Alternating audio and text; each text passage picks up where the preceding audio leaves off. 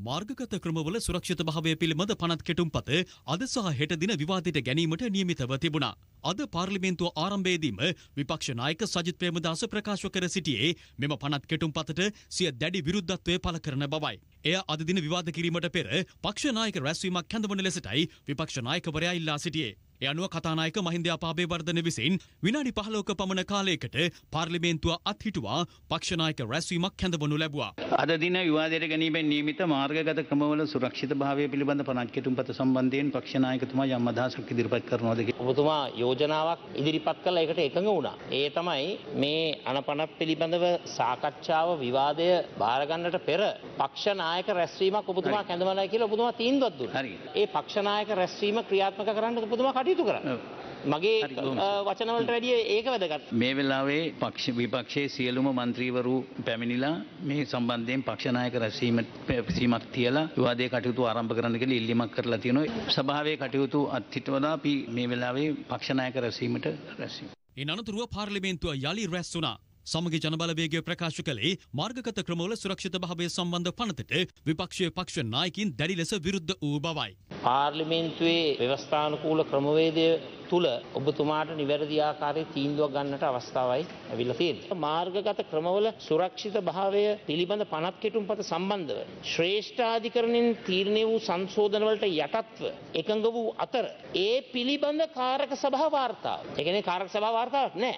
තාම ශ්‍රේෂ්ඨාධිකරණයේ සංශෝධනවලට යටත්ව මේ අ, අනපනත් වලට එකඟ වූ අතර ඒ පිළිබඳ කාලක සභා වාර්තාව කාලක සභාවේ සභහපති ගරු ලලිත් වර්ණකුමාර මහතා විසින් දෙදස් විසිහතර ජනවාරි මස විසිතුන්වන අඟහරුවාදා දින පාර්ලිමේන්තුවට පිළිගැන්විය යුතු යයිද?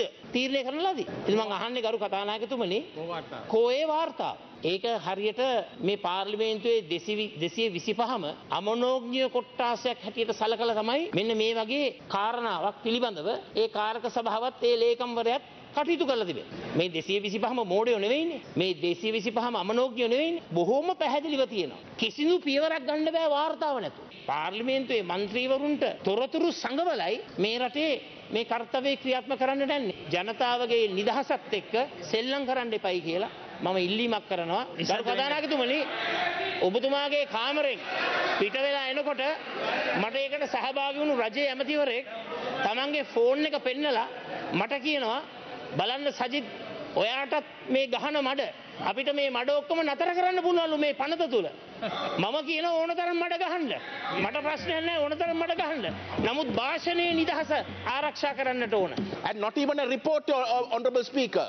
So we are debating something that is totally unofficial, that is outside the standing orders. We are going outside the standing orders and you are expecting members of parliament to rely on something that is completely outside procedure. මේ- මේකෙන් තියෙන්නේ වාර්තාවක් පස්සේ ඉදිරිපත් කරනවා කියලා මේක කිසිසේත් වාර්තාවක් නෙවෙයි ඒ නිසා මේ රටේ නීතිය යටතේ මේක අද විවාදයට ගැනීමට කිසිසේත් පුළුවන්කම නැහැ ඒක නීති විරෝධී ක්‍රියාදාමයක්.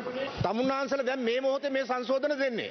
මේ සංශෝධන කොයි විදියට ශ්‍රේෂ්ඨාධිකරණ තීන්දුවත් එක්ක ගැලපෙනවද නැද්ද කියලා අපිට අධ්‍යයනය කරන්න වෙලාවක් වුණා. අපිත් පිළිගන්නවා රටේ සමාජ මාධ්‍ය අවභාවිතාවක් තියෙනවා. හැබැයි එහෙමයි කියලා සාධාරණ සමාජ මාධ්‍ය ක්‍රියාකාරීත්වයක් මර්ධනය කරන්න මේ පනත පාවිච්චි කරන්න ඉඩ දෙන්න බෑ. මේ විදියට අත්නෝමතිකව මේක සම්මත කරන්න යන එක නීති විරෝධී. ඒ වාර්තාව ආංශික අධීක්ෂණ කාරක සභාවේ වාර්තාව වෙනකම් මේක න්‍ය- න්‍යාය පුස්තකයට දාන්න බෑ. දැන් මේ පනතට ගරු කතානායකතුමනි ශ්‍රේෂ්ඨාධිකරණය සංශෝධන 34ක් ඉදිරිපත් කළා තිබෙනවා. ඒ සියලුම සංශෝධන ඔතන තියෙනවා. ඊට අමතරව මේ සෙව්ඩ සංශෝධන 42ක් තිබෙනවා.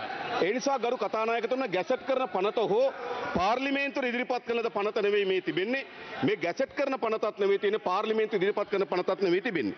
ඒ නිසා ගරු කතානායකතුමනි මේ පාර්ලිමේන්තුවේ සාකච්ඡාවට ගන්නකොට ආංශික කාරක සභාවේ වාර්තාව නිවැරදි ලෙස අවශ්‍යයි. දැන් ඔබතුලා ඔබතුමාලා පෙන්눔 කරලා දෙන වාර්තාව මොකද්ද? හරි.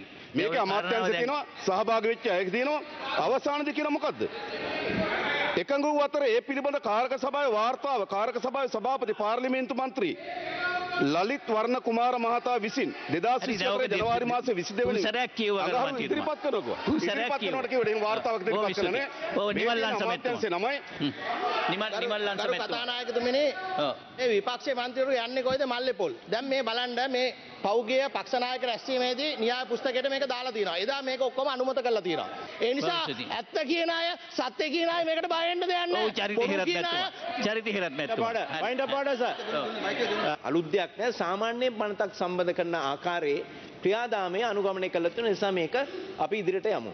සභාවකගෙද හරි ආ, ටිරන් ටිරන් අලස් මැත්තුමා හරි හරි ඔබතුමා ලක්ෂ්මන් කිරියල්ල මැත්තුමා. හරි. පොයිට පොයිට බෝඩ ඩිවයින් අපි විරුද්ධය මේකට. දිවයි ඕකේ ඉන් අනතුරුව මේ පිළිබඳ අද දිනේ විවාදයක් පවත්වනාද නැද්ද යන්න පිළිබඳව විමසා බැලීම සඳහා ඡන්ද විමසීමක් පැවැත්වීමටයි තීරණය වුණේ. එහිදී වැඩි පිරිසක් ඡන්දය ප්‍රකාශ කළේ මාර්ගගත සුරක්ෂිත භාවය පිළිබඳ පනත් කෙටුම්පත විවාදයට ගැනීමටයි.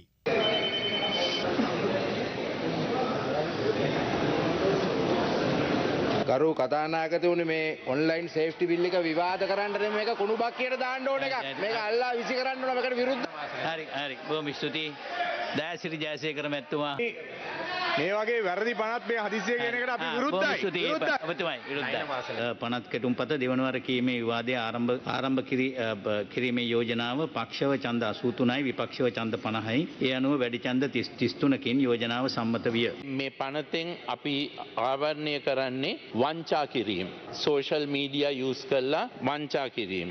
අන්න අන්නෙක වෙනුවෙන් පෙනී සිටිමෙන් වංචා කිරීම. එතෝට කැරැල්ලක් ඇතිවෙන ආකාරයෙන් අසත්‍ය ප්‍රකාශ සංනිවේදනය කිරීම. ළමා අපචාර කාන්තා හිංසනය ආගමික හා සහජීවනයට බාධා කිරීම.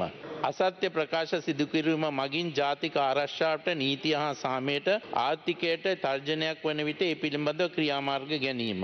ආගමික හා සංස්කෘතක ගැටුම් නිර්මාණය වීම. විශේෂයෙන් මගේ මම මමනම් මේ පනතේ මේ ළමා අපචාර හා කාන්තා හිංසනය ගැන විශේෂයෙන් යොමු වෙනවා. රටේ ලෝකෙ සිදුවන උණුසුම් පුවත් දැනගන්න සියත නිවස් YouTube channel එක අදම subscribe කරන්න.